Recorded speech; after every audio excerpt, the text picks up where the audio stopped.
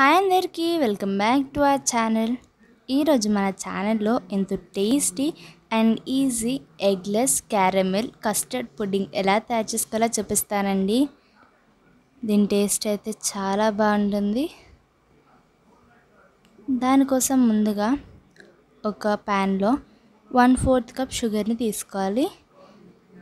ఈ షుగర్ కొద్దిగా కరిగిన తర్వాత స్పూన్తో కలుపుకోవాలండి. షుగర్ మాత్రం కరగకుండా తిప్పకూడదండి. అలా చేస్తే క్రిస్టల్స్ లాగా అయిపోతుంది. ఇప్పుడు దీన్ని స్టవ్ ఆఫ్ చేసుకుని ఒక కేక్ టిన్లోకి పోసుకుంటున్నానండి. ఇలా మొత్తం స్ప్రెడ్ చేసుకుని దీన్ని చల్లారనివ్వాలి. ఇప్పుడు ఒక ప్యాన్ పెట్టుకుని దీంట్లో టూ కప్స్ మిల్క్ని వేసుకుంటున్నానండి.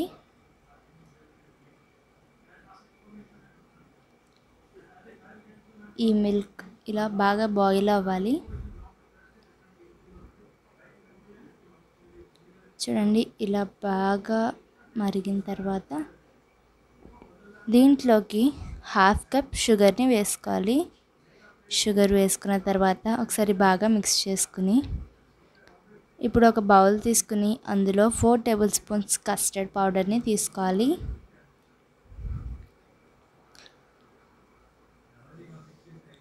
ఈ కస్టర్డ్ పౌడర్లో వన్ ఫోర్త్ కప్ పాలను పోసుకొని వన్ ఫోర్త్ కప్ వాటర్ని కూడా పోసుకొని లంప్స్ లేకుండా కలుపుకోవాలండి.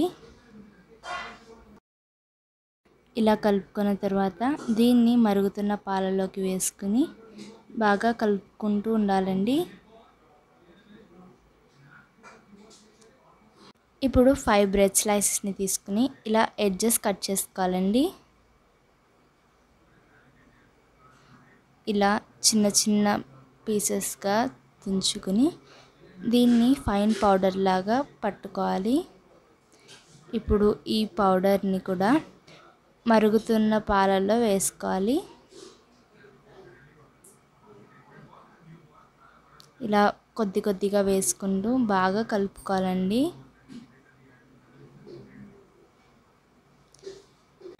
ఇలా బాగా కలుపుకుంటూ ఉండాలండి. చూడండి ఇలా బాగా కలుపుకోవాలి. ఇప్పుడు ఇది థిక్గా అయింది కదండి. దీన్ని కేక్ టిన్లోకి వేసుకోవాలి. ఇలా కేక్ టిన్లోకి వేసుకుని దీన్ని అల్యూమినియం ఫాయిల్తో కవర్ చేసుకోవాలండి.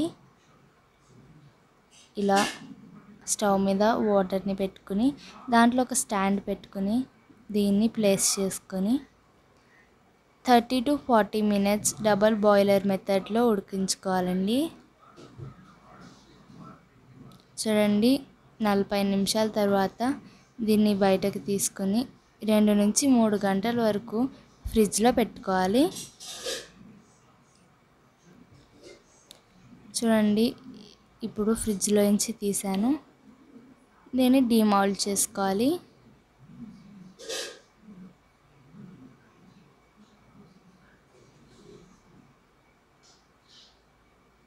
చూడండి ఎంత బాగా వచ్చిందో మన ఎగ్లెస్ క్యారమిల్ కస్టర్డ్ పుడింగ్.